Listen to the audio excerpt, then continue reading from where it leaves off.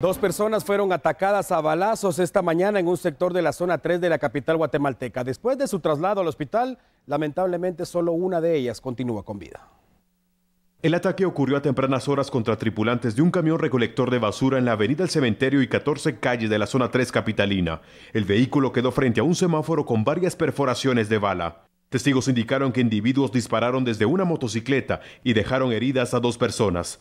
Bomberos voluntarios llegaron al lugar y trasladaron a las víctimas a la emergencia del Hospital General San Juan de Dios.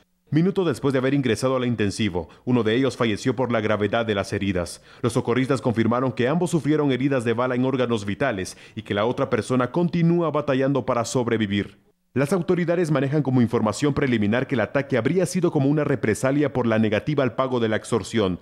Recordemos que este gremio de transporte es acechado constantemente por pandilleros que exigen cuotas semanales.